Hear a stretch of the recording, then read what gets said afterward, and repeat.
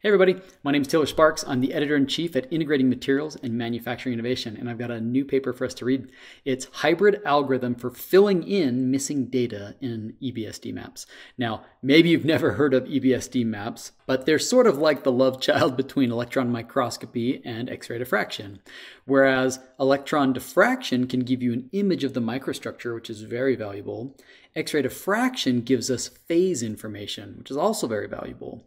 EBSD can do both. You can see in this image here, you can see here's what the micrograph looks like, and now you have colored regions representing the orientation of different grains, including which phase they are. So this is really powerful tool for telling you um, if there's texturing present, how different phases are distributed, what grain boundaries look like. It's a really great tool. But you can have missing data. And lead author Emmanuel Atindama at Clarkson University and co-authors, including corresponding author Prashant Athavale at NIST, have developed a tool for filling in some of that missing information.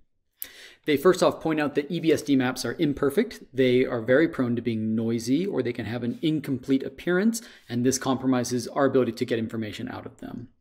They talk about that there are recent advances in image inpainting. The whole field of deep learning has done a lot of this, um, right? Using generative image synthesis, particularly those using deep learning approaches, GANs, diffusion, uh, Fourier convolutional networks. But they point out that these methods rely on, uh, first off, they focus on generating realistic looking images and they require a lot of training data and compute time. Uh, and what they'd like to achieve is similar results with modest amounts of data and compute time. And specifically, they point out that there's also some key differences in EBSD and real images. For one thing, they point out that in a traditional image, the pixel value is the intensity, but here we have different information encoded in the image, and so the comparison is not apt. For example, they say, unlike natural images, the pixel value, where it represents an intensity in a natural image, in EBSD maps, we now encode that value uh, with the orientation data using the Euler angle. And therefore, the, the metric that you use for similarity in the reconstructed image is just not going to be the same. They become ineffective for EBSD. We need something else. We need a different loss function.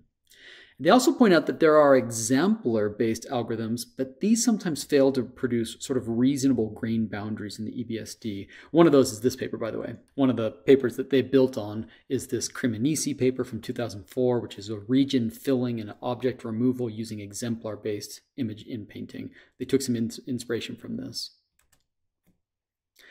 They go beyond it though. They outline a novel hybrid approach, right? They basically say here, they say in the proposed approach, we're first going to obtain an approximation of the inpainting using a machine learning approach. And then they're going to use that approximation to find the best exemplar method for the EBSD map.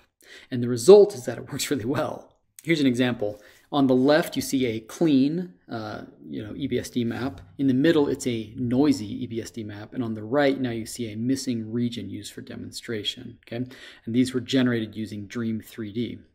Now down here, you can see what happens when you try and infill it with different approaches. The one on the far left is just using the original Criminisi algorithm. In the middle, now you have the results using a sum squares of disorientation. And on the far right, now you have a, a different dissimilarity metric. It is your sum squares of disorientations of dissimilarity, but measured with Euclidean distance penalty. So it's, it's their novel approach that they're using here. And the results speak for themselves. And you see in this table here, comparing the sort of the reconstruction error when you knew what it should have been and you compare what it actually produces, how dissimilar is it? You have large variation with Criminisi, lower variation, and the lowest variation with their modified approach, with this hybrid approach. Something that I appreciate is that they tested this not just on Dream 3D simulated microstructures, but on real data, right? So this is real EBSD data collected at NIST, and you can see the result of the inpainting, right? Here's the original real EBSD data, and you can see that it's got some missing segments to it. And then in the middle, they used a nearest neighbor inpainting, and then here they used their proposed inpainting, and the results just are really pretty great. So I hope you'll take a look. I think we're going to see more and more automated analysis and extraction of information from large data sets as we increase our throughput of manufacturing materials and characterizing them. And infilling data, I think, is going to be an important part of that.